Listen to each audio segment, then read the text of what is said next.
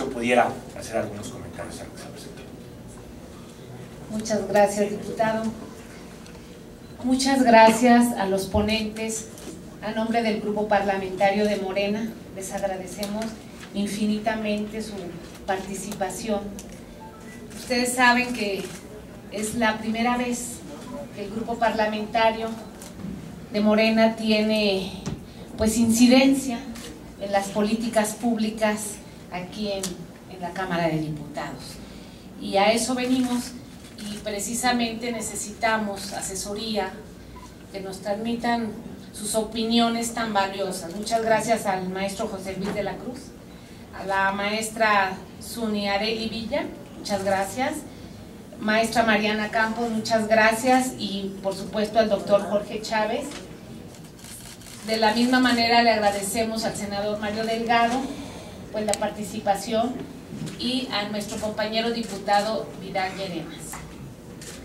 Y para Morena es muy importante, porque ustedes saben que el primero de septiembre que ingresamos, que dimos un posicionamiento, hablamos de una ley de austeridad.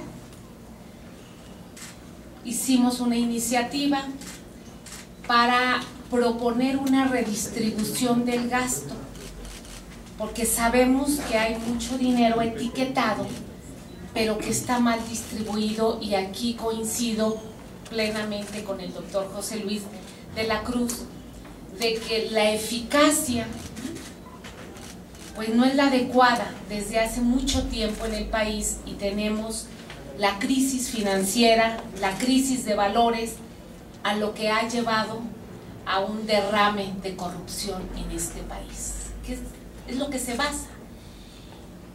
Y en el término político, cada partido político, cada fracción hace su posicionamiento o tiene su visión y efectivamente Morena hablamos de un gobierno que se tuvo en el 2006 en el Distrito Federal con Andrés Manuel López Obrador, que hubo una redistribución eficaz o más eficaz y que sí hubo un recorte a gastos onerosos, a gasto corriente, a gasto burocrático y que con ello se pudo canalizar una parte de esos recursos, sean en programas sociales, sean en infraestructura, porque se hizo una preparatoria en cada delegación del Distrito Federal, se hizo una universidad, se hicieron hospitales, etcétera, etcétera. Entonces, sí queda claro para Morena que con una experiencia que se vivió en el 2006, eh, aquí en el Distrito Federal, pues sí podemos aprovechar mejor los recursos. Yo les agradezco muchísimo. Ayer, por ejemplo, tuvimos aquí en Cámara de Diputados la visita de los subsecretarios de Hacienda. Eh, estuvo en la Comisión de Hacienda y de Presupuesto, estuvieron las dos comisiones, Hacienda. nada más la Comisión de Hacienda. Y en forma sorprendente, bueno, los que no somos economistas creo que utilizamos mucho el sentido común, es, es lo fundamental. Y cuando escuchamos a nuestros subsecretarios con sus proyecciones y sus vueltas, que eh, pues no, en el sentido común no nos cabe. Sí, no, no, no. Gracias, gracias. Gracias. Perdón. Yo, yo sí creo, Alusiones personales. Sí, no, ya eran los presentes. yo sí creo que entre somos economistas no. Yo sí, creo- No todos, tengo que generalizar. Por yo eso sí creo que más bien no, pero eti- etiqueté a nuestros subsecretarios economistas. No todos, efectivamente. Ellos nos daban vueltas y nos decían de sus proyecciones y efectivamente nos hablan de un mayor ingreso pese a la baja producción petrolera, pese a que no vamos a tener ingresos eh, suficientes y nos hablan de mayor gasto, entonces no entendíamos cómo, por qué. Nos hablan, por ejemplo, de las bondades de la gasolina, cosa en la que no coincido, que ustedes son especialistas en este análisis, decía yo, ¿cómo?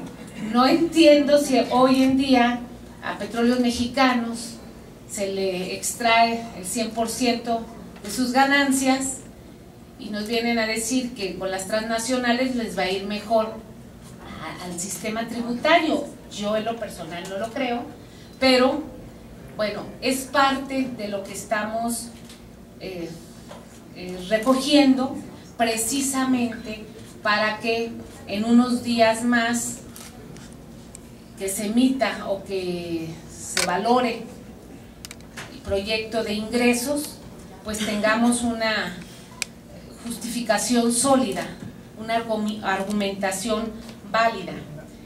Les agradezco muchísimo a los diputados federales que están aquí presentes, tenemos varios diputados de Morena que alcanzo aquí a ver, a todos ustedes, muchísimas gracias. Y pues les agradezco, le voy a dar la, la palabra a nuestro compañero Vidal Llerenas. Gracias. Muchas gracias. Antes de que comente Mario Delgado, habrá que decir que